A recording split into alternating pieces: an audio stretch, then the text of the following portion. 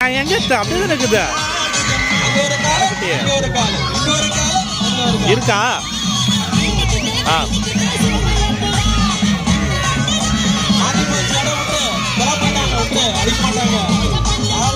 போயிட்டாங்க